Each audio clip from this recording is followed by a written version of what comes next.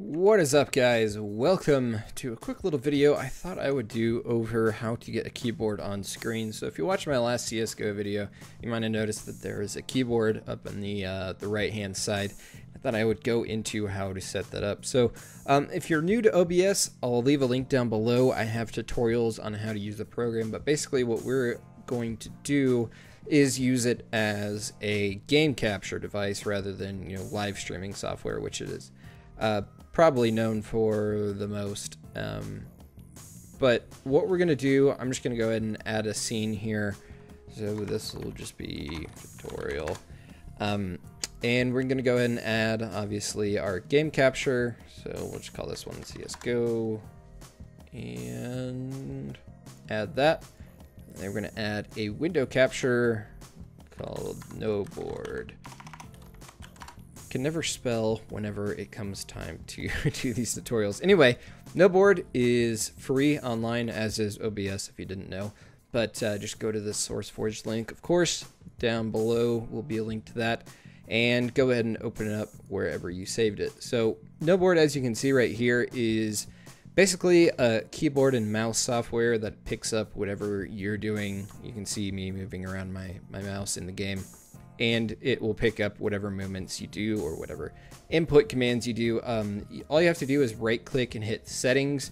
This is the one I use. Just uh, select the category games. You can use like a full keyboard and then use like a US keyboard. So that would be this one right here. But again, depending on what you're doing, this will be uh, where you choose it. So FPS with mouse is the one I'm going to choose right here. So that's all we need to do as far as Nohboard is uh, concerned. When in the window capture, we're going to go ahead and uh, select that. So all you have to do is do that and hit OK. Uh, one other thing we're going to do, as you can tell when we're going to settings, I changed the color to be green. Um, basically, we're making the background of the um, the keyboard uh, act like a green screen, basically. So all we have to do, um, like I showed you, is go into the settings and change that. And over here, we'll right click and go to properties.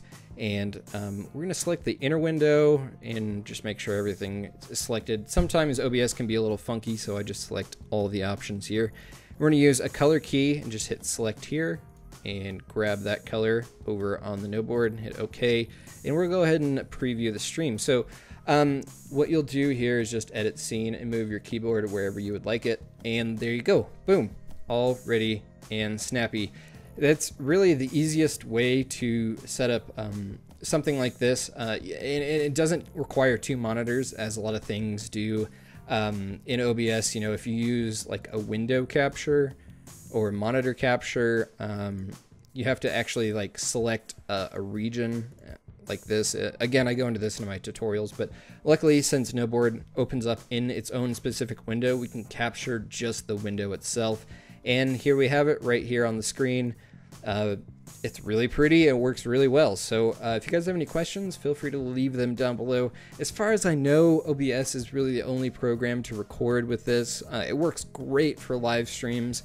Uh, I think this is really one of the best tools, you know, uh, as far as showing what you're doing and just plop that up right there and you'll be good to go. So anyways, guys, thank you so much for watching. As always, leave your comments and suggestions down below and I will talk to you later.